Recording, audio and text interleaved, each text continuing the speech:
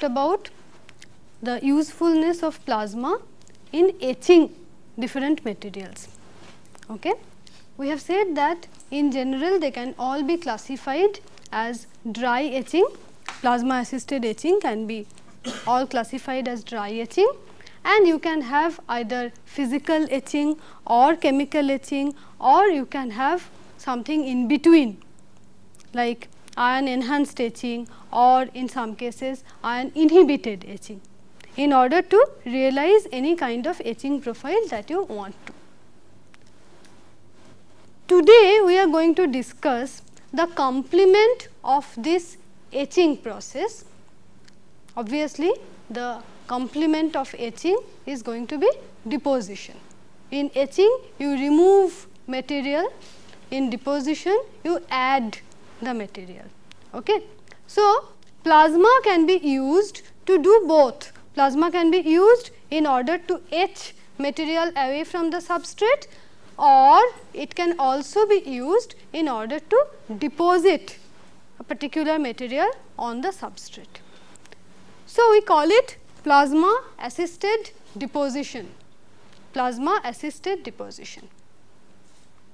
What is the role of plasma in this thing? If you remember, while discussing plasma assisted etching, we said that because the energy transfer from electrons which are very light, because the energy transfer is inefficient, that is why the electrons do not lose energy to the plasma body. Okay. So, in the plasma we have very high energy electrons, the equivalent electron temperature can be as high as 10 power 5 Kelvin. While the envelope of the plasma remains at a much lower temperature, almost at room temperature or slightly above maybe 100 degree centigrade or 200 degree centigrade. But because the electrons acquire such high temperature, various chemical reactions that could have taken place only at that high temperature can now take place at this comparatively cooler plasma. In other words, we can have a number of chemical reactions without having to raise the temperature of the substrate to a great extent. The high energy of the electrons is equivalent to the increase in energy. Okay, we do not have to supply heat in order to raise the energy. So, this is the basic principle which is used for plasma etching as well as for plasma deposition. That is a variety of chemical reactions are possible inside the plasma which would normally have been possible only if the temperature is raised considerably. So, the bottom line is this that using with the help of plasma, with the assistance of plasma, it is possible to keep the temperature low and deposit or etch whatever you want to do. This becomes particularly useful when you have a constraint over the temperature. For example, let us say I have made an integrated circuit. I have made some devices, I have made some transistors. Okay. It is complete with all metal contacts, everything. But you know, after the integrated circuit is fabricated, I must provide a surface passivation layer. That is so that the device does not get corrupted when it is being used. That is why we use a surface passivation layer. Okay. For example, you know that after a device is fabricated, people are going to handle it. And you know human body is a major source of sodium contamination. So, unless you have a sodium barrier passivation layer, your device performance is going to be deteriorated because it is going to accumulate a large dose of sodium. So, I must have a passivation layer which is a good sodium barrier. Silicon nitride answers to the description.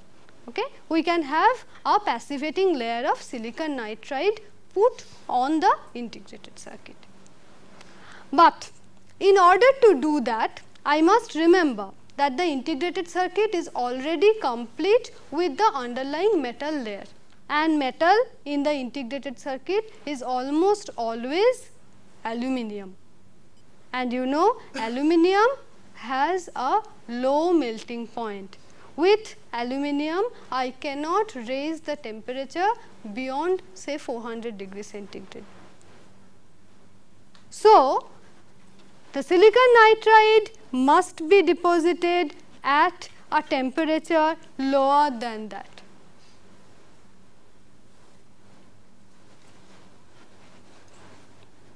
If you normally try to deposit silicon nitride by chemical vapor deposition process. The temperature needed is much higher 700 to 900 degree centigrade. So, the only way to deposit a passivating layer will be with the help of plasma, where we can have the same or similar chemical reaction at a much lower temperature. So, this is the primary utility of the plasma assisted deposition process. You can have a deposition temperature much lower than that obtained without plasma. Okay? Let us look at some of the basic chemical reactions involved in the in these deposition reactions. We will try to compare what happens when there is no plasma and what happens when there is a plasma. And then later on we shall compare the properties of the deposited material. Okay. So, the two most important deposited material in integrated circuits in VLSI technology are silicon dioxide and silicon nitride. Okay. If I want to deposit silicon dioxide,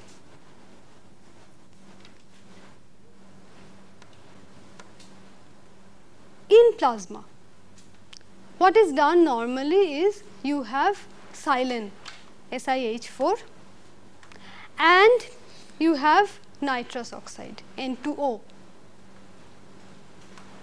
you make them react in the presence of an inert gas plasma, in argon plasma. Okay. So, the basic reaction is in between silane and nitrous oxide.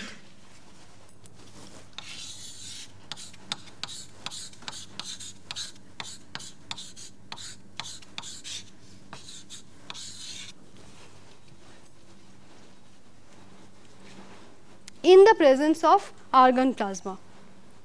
It reacts to give you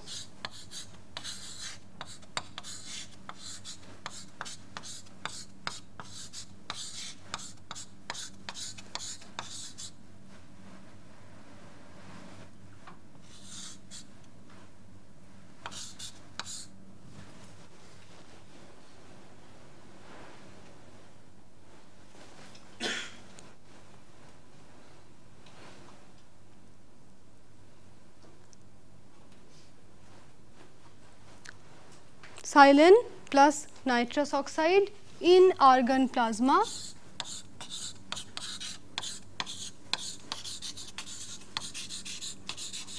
reacts to form silicon dioxide with byproducts of nitrogen and water.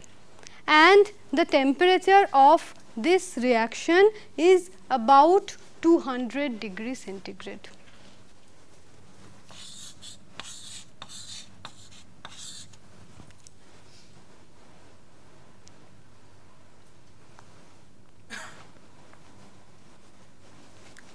I do not have a plasma,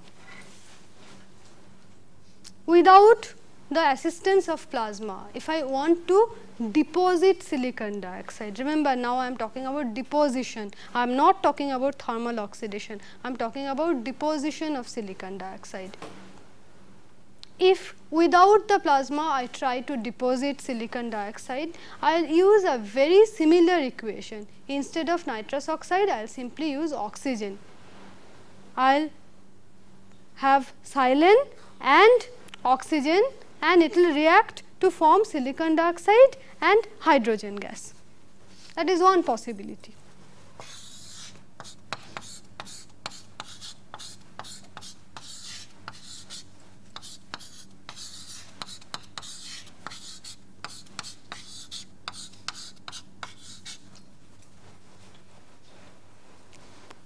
The temperature of this reaction however, will be much higher, it will be about 450 degree centigrade.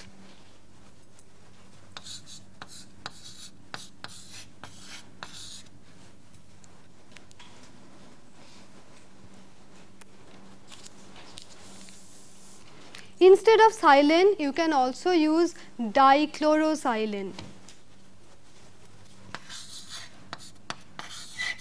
Dichloro that is 2 atoms of hydrogen is replaced by 2 chlorine atoms SiCl2 H2 and you can make it react again with nitrous oxide.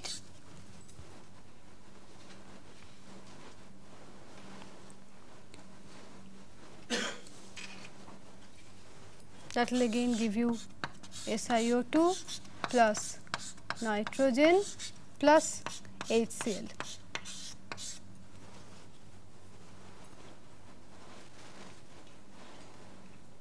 But the temperature of this reaction will be even higher.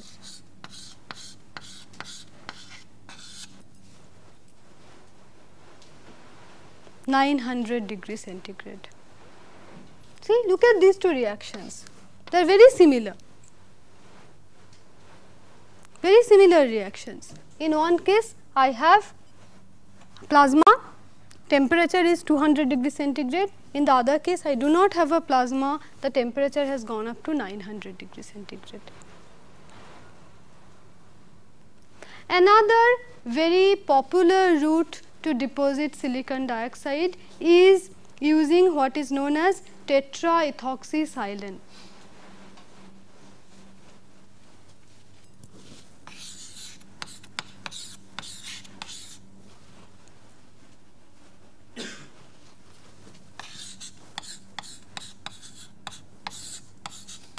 This is a ethoxy group OC2H5.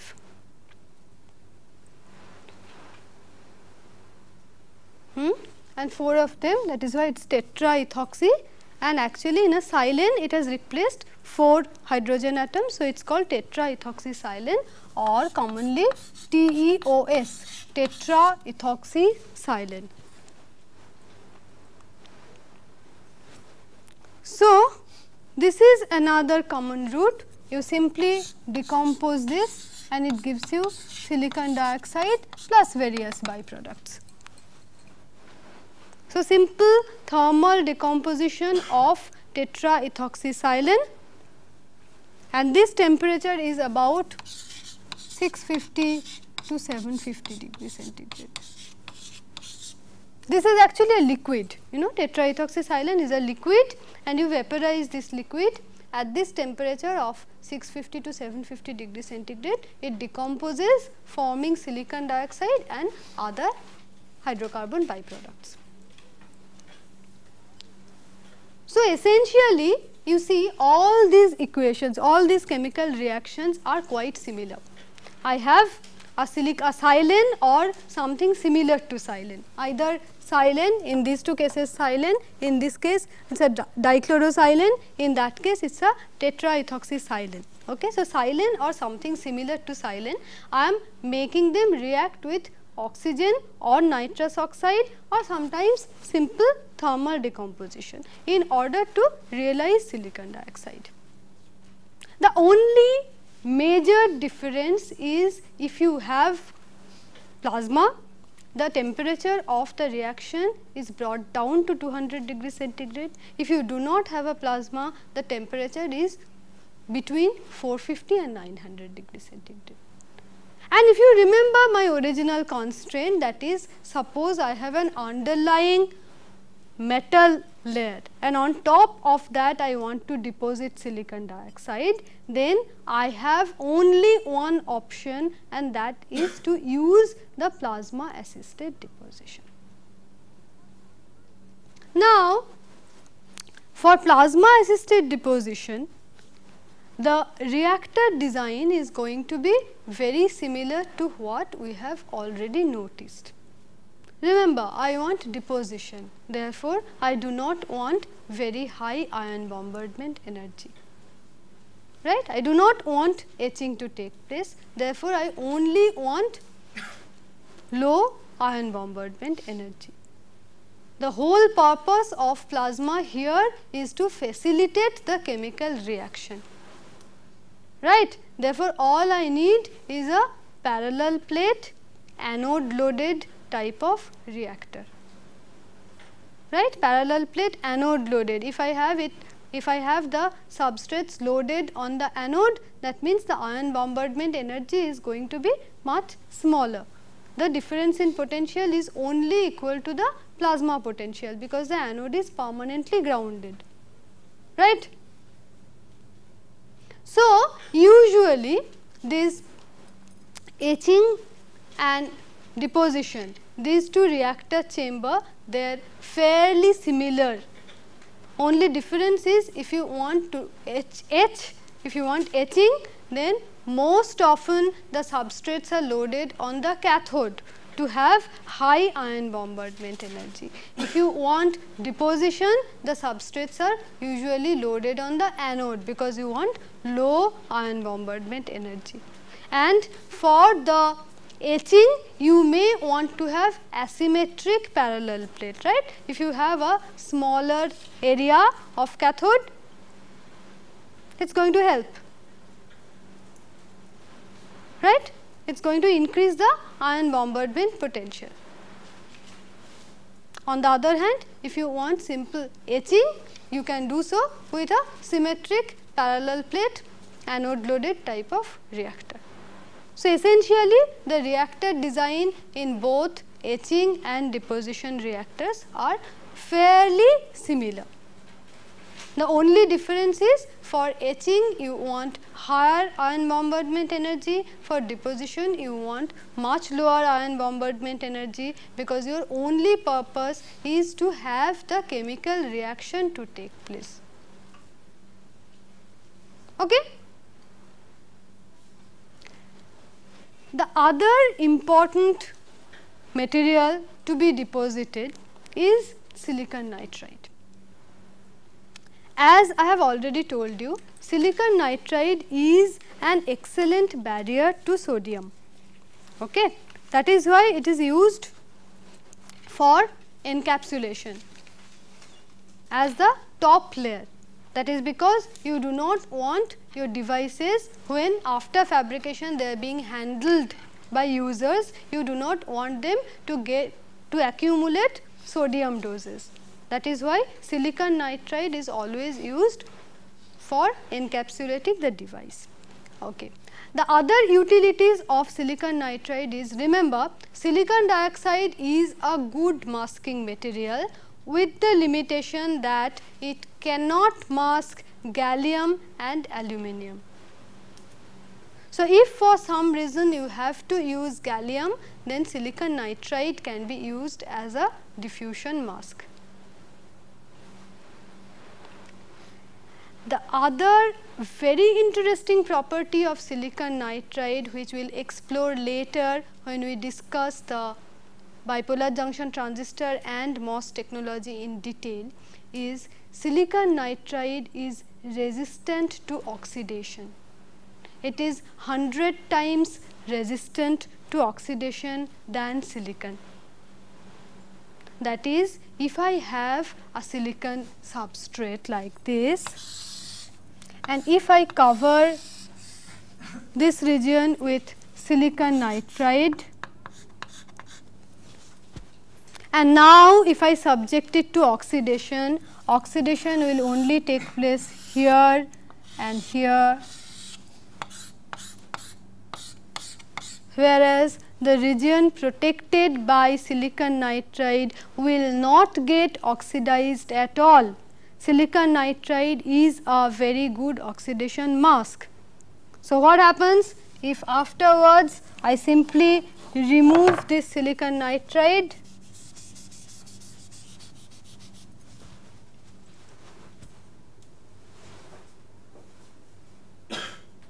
I can have isolation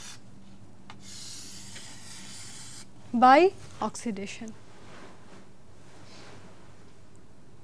The two devices, one transistor here, the other transistor on the other side can be made isolated by the intervening oxide layer. This is the famous LOCOS technology or local oxidation technology which we will discuss later on. But this is one important feature of silicon nitride that it is 100 times resistant to oxidation compared to silicon. So, if you do not want some region of silicon to get oxidized, you will have to protect it by a silicon nitride mask. and there is another major hazard, you remember that we talked about various oxide charges. Okay and one source was radiation. We talked about oxide trapped charges. If the device is exposed to radiation environment, the oxide can accumulate a lot of positive charges which is going to shift the threshold voltage of a MOS device. Okay. If instead of oxide you have nitride or you have a combination of nitride and oxide, it is found to have much superior radiation resistance that is it does not accumulate as much charge as the normal thermal silicon oxide does. So, if you are very particular that your devices must be radiation resistant then also you have to use nitride. So, there are so many reasons why you may want to deposit silicon nitride on top of your finished device. And how do you do that? Well, again let us compare with and without plasma what happens.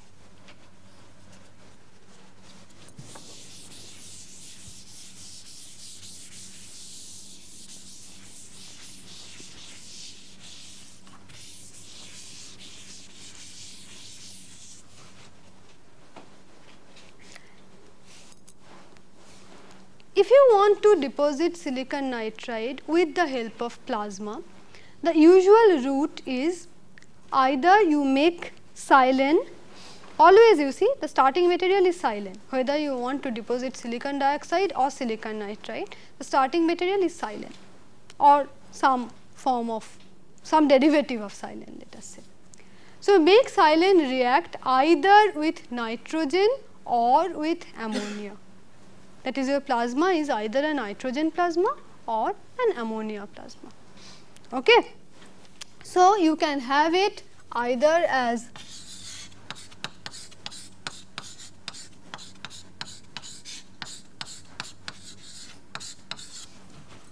silane plus ammonia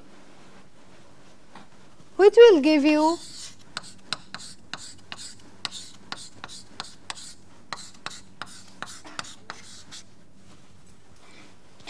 You will be surprised why I am writing it like this. That is because in plasma deposition of silicon nitride, you almost never get stoichiometric silicon nitride. Stoichiometric silicon nitride will have a formula of Si3N4. But in plasma deposition, you almost never get this stoichiometric silicon nitride. Instead, what you get is some composition of silicon and nitrogen with a lot of hydrogen put in. That is why we write it either as SiNH or with SiN bracketed H. That is we cannot be exactly sure about what the relative composition of silicon and nitrogen is going to be. It depends on various process parameters. Okay. The other possibility is of course, you can have silane react with nitrogen and again in this case you will have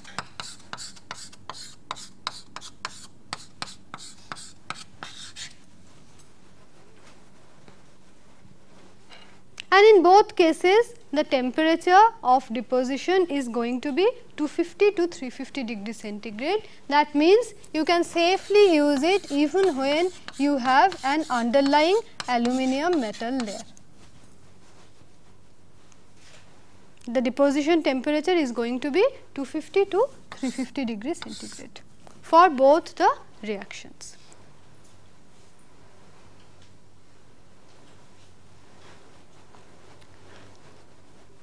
If however, I want to deposit silicon nitride not by the help of plasma, but by simple chemical vapor deposition technique, even in that case, you know, I could use silane and ammonia.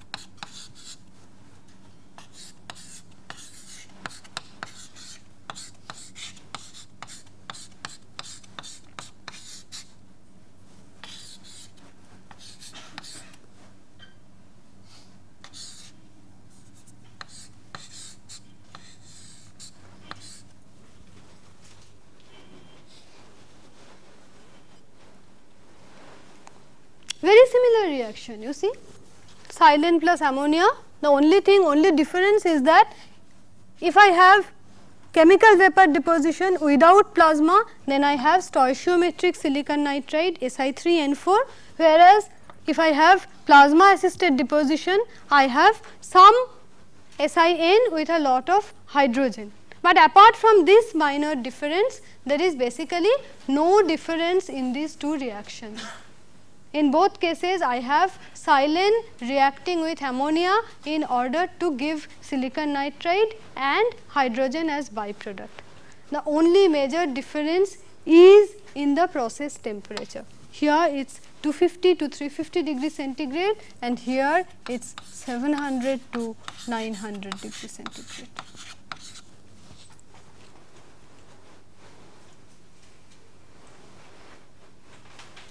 Instead of silane, you could also use a derivative of silane like dichlorosilane for example. You can have SiCl2H2 reacting with ammonia and in that case also you will have silicon nitride with HCl and hydrogen. Okay. But even there the temperature will be 700 to 900 degree centigrade. So, this is actually favored for CVD and this is what happens in case of PECVD or plasma enhanced chemical vapor deposition. Plasma assisted deposition is normally termed PECVD plasma enhanced chemical vapor deposition. Okay. So, you see obviously in plasma assisted deposition, I have a major advantage that is I can have the deposition taking place at much lower temperature. Hmm?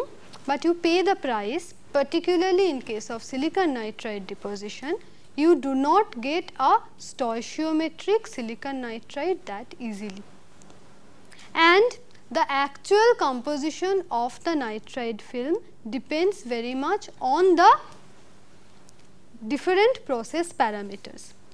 The major disadvantage in this case is you have a lot of hydrogen incorporated in the silicon nitride film.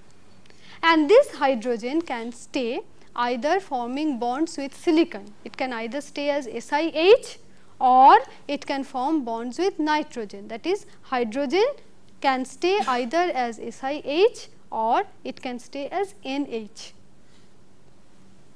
Okay.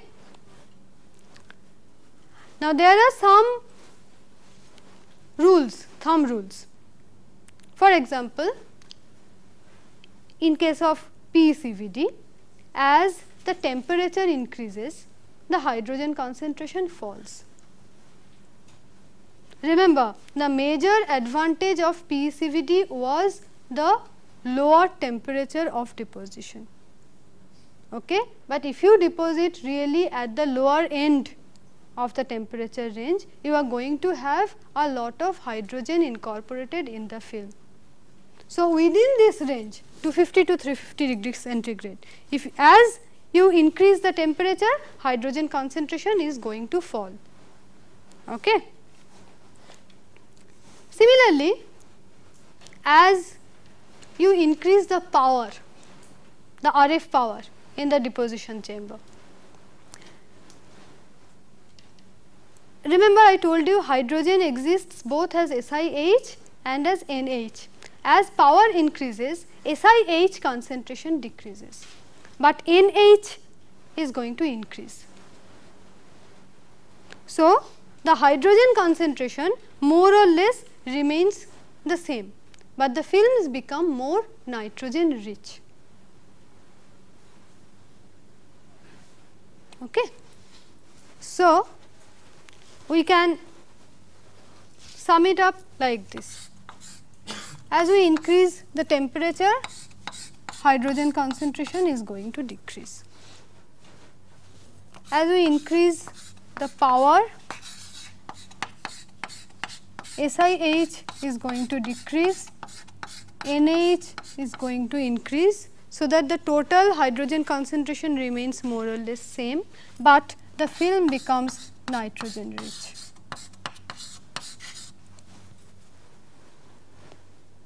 Okay. The third parameter you can play with is the pressure, right. As the pressure increase, approximately the reverse happens.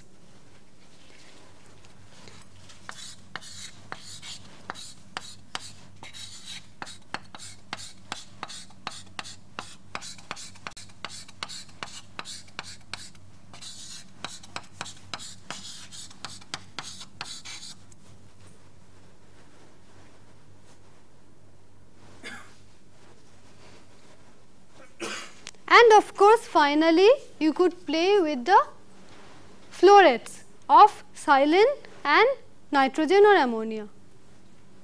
So, obviously, if you increase the ratio of silane, films are going to become more silicon rich. Okay?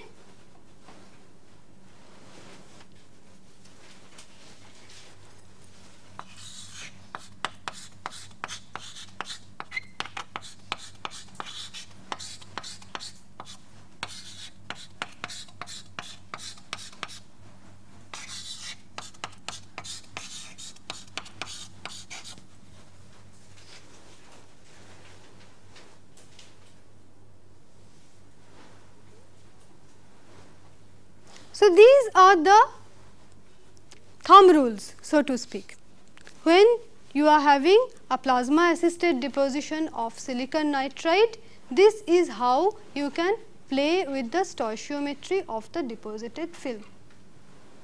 And I have here the properties of the silicon nitride films deposited by the plasma enhanced process as well as by simple chemical vapor deposition which I have called LPCVD. LP stands for low pressure, low pressure chemical vapor deposition that is I am going to use these equations here okay. and I have compared it with the plasma deposited silicon nitride. Let us look at the properties. First of all as I have already mentioned the temperature of deposition. It is 700 to 900 degree centigrade in case of chemical vapor deposition which can be brought down to 250 to 350 degree centigrade in case of plasma assisted deposition. Next silicon to nitrogen ratio. For the LPCVD you can get a perfectly stoichiometric film that is Si3N4 silicon to nitrogen ratio is 3 by 4 or 0.75. In case of PCVD, it varies between 0.8 to 1.2 that is in general you tend to have a more silicon rich film. Then we have talked about the atomic percentage of hydrogen. In case of LPCVD, you have a very small percent of hydrogen incorporated in the film. 4 to 8 percent whereas in case of PCVD it can be as high as 20 to 25 percent. Let us look at the refractive index it is 2.01 for chemical vapor deposition it is 1.8 to 2.5 in case of plasma enhanced chemical vapor deposition. Remember refractive index increase signifies that films are more silicon rich. Silicon has a refractive index of 3 point something, 3.5 or so. So, if the refractive index goes high, it goes beyond 2.1 or so, that means the films are get, getting more and more silicon rich. Next, density, it is 2.9 to 3.1 in case of LPCVD, 2.4 to 2.8 in case of plasma deposition. Obviously, because the plasma deposited film has so much hydrogen incorporated, which brings the density down. Okay. Next interesting point is resistivity because you are going to use silicon nitride as an insulating film. You see for LPCVD you have a pretty good resistivity 10 power 16 ohm centimeter whereas in case of PCVD you may have a very bad film with 10 power 6 ohm centimeter resistivity and in the best case also it is somewhat less than that obtainable in case of LPCVD. So, the range is 10 power 6 to 10 power 15 ohm centimeter. Same thing for dielectric strength LPCVD silicon nitride gives you 10 power 7 volts per centimeter dielectric st strength whereas in this case at best it is half of that 5 into 10 power 6. The band gap of silicon nitride deposited by LPCVD process is 5. Here it is between 4 and 5 depending on the exact composition. And finally, the stress. Stress is a very important factor when you are depositing something on the substrate, right. That is because there is going to be a lot of stress for thermal mismatch, for lattice mismatch and all these things. So, stress is usually measured either it is tensile or it is compressive. If you have LPCVD deposition, then the stress is tensile stress, T, tensile and the amount is 10 into 10 power 9 dynes per centimeter square. Whereas, in case of PCVD depending on the composition it can vary from compressive to tensile 2C hmm. to 5T. So, you can say from this table that if I take suitable precautions, if I play with these thumb rules suitably, then it is possible for me to deposit a silicon nitride film that will be more or less close to the properties of an LPCVD deposited film, but at a much lower temperature. Right? So, this is the essential advantage of the plasma CVD technique that you can have the deposition temperature much less while the properties of the film you can try to preserve them near ideal as much as possible. Of course, this table also warns you that unless you are careful, you may end up with having a very bad deposited film by the plasma process. You can have very poor resistivity, you can have very poor dielectric strength unless you are careful about the deposition process. But if you are careful then you can have a good enough deposited film at a much lower temperature. Similarly, if you look at the next slide you will see that the silicon dioxide by the chemical vapor deposition process and silicon dioxide deposited by the plasma enhanced process, the properties of them can also be compared. Again the most important point is the temperature of deposition. So, you see depending on what particular reaction you are going to use for ordinary chemical vapor deposition process the temperature varies between 450 to 900 degree centigrade. 450 if you are going to have the reaction between silane and oxygen 900 if you are going to use dichlorosilane. If you use tetraethoxysilane, the temperature will be somewhat in between 700 degree centigrade or so. On the other hand, if you use plasma enhanced chemical vapor deposition process, then the temperature of deposition is only 200 degree centigrade. Here also we have a slight variation in composition, but not as significant as in case of silicon nitride deposition. While for chemical vapor deposition you have a perfectly stoichiometric SiO2, in this case you have a slightly less oxygen, the films are slightly silicon rich SiO 1.9 with some hydrogen incorporated in it. Density however is slightly higher in case of plasma enhanced chemical vapor deposition process and so is the refractive index. 1.46 incidentally is the refractive index of thermal silicon dioxide. For plasma deposited silicon dioxide you have slightly higher refractive index of 1.47.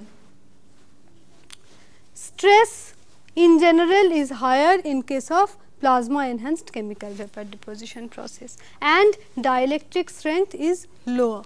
For LPCVD dielectric strength is 8 into 10 power 6 very close to the dielectric strength of thermal oxide which is 10 power 7 volts per centimeter. In case of plasma enhanced chemical vapor deposition however, we have a rather lower dielectric breakdown strength and another significant difference is seen in case of the etch rate. Here we have projected the etch rates in hydrofluoric acid diluted in water, okay, 1 part of hydrofluoric acid in 100 parts of water. And you see while LPCVD silicon dioxide films etch rate is only 30 to 60 angstroms per minute. In case of plasma enhanced chemical vapor deposition, it is 400 angstrom per minute, much much higher. And if you remember while discussing etching of films, I happen to mention that if you have irradiated films, they will in general tend to etch faster. This is the example. A plasma enhanced chemical vapor deposited film is irradiated. You have however small you have some ion bomber that usually weakens the film so that its etch rate is much higher. So, this is actually a very important difference in property, the difference in etch rate. So, if you have plasma deposited silicon dioxide, it will etch much faster.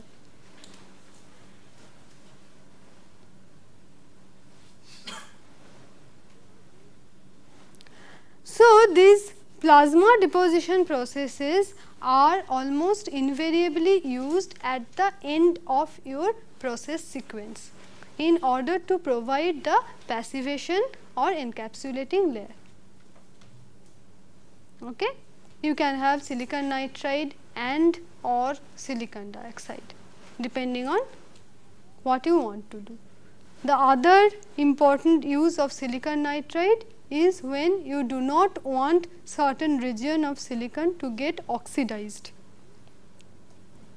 To use silicon nitride is used as a mask against oxidation, which is a very important concept, a very important process particularly when we come to MOS devices and also nowadays in case of bipolar junction transistor where oxide isolation is more and more replacing the old junction isolation technique. Okay. So, if you want to have oxide isolation then all you have to do is protect the active region of the substrate with a thin layer of silicon nitride. So, that underneath no oxidation can take place. Now, you subject it to oxidation, oxidation will take place at the periphery and those regions will isolate the active region from the next transistor. Okay. So, with this we almost come to the end of the process flow except for one particular process step and that is the metallization right. We have seen how to dope, uh, how to grow the crystal, how to dope that crystal. Okay. We have also seen how to selectively dope by using lithography. Okay. We have seen how to etch, how to deposit and next we are going to see how to deposit metal because metal is the sort of we would say metal is the connection between the device and the outside world. The connections must be taken from the metal bond pads, right. So, that is the next process step to be discussed, the metallization. And after we finish discussing metallization, we can talk about the technologies in its entirety. That is, we can take the bipolar junction technology as such and we can see how the various process steps can be modified in order to yield better performance. But before that we should talk about metallization. Now, in case of metallization in general we have three types of metallization, three types. What are those three types? First is the ohmic contact. You know whatever regions you have emitter, base, collector, source, drain, there must be an ohmic contact. Next, if you have MOS devices, you must have a gate. Remember nowadays for almost all MOS devices, the gate is no longer a metal, but it is polysilicon. Okay? So, the next is the gate metal or the gate poly to be more accurate. Okay? And finally, we have the interconnection between the devices because you are not going to fabricate discrete devices, you are going to fabricate integrated circuits that is various transistors must be interconnected. Usually the gate and the interconnections are done at the same level okay, by using poly, doped poly or sometimes silicide. Here so, we can broadly classify it in two groups. One is the ohmic contact and the other is gate and interconnections. Okay. So, we have various considerations like we must have low contact resistance. So, how to keep the contact resistance down? What happens if you have a low doped region? Obviously, the contact resistance is going to go high. So, these are the various techniques we are going to discuss in the next class. Various constraints on metallization and various techniques to overcome those constraints. And remember till now almost exclusively aluminum was being used as the metal of choice okay, with an overlying gold, gold wire bonding. But nowadays slowly copper is coming in picture. Copper interconnections are also going coming in picture and they are being viewed as the next generation alternative to aluminum. So, we will discuss these points in the next class.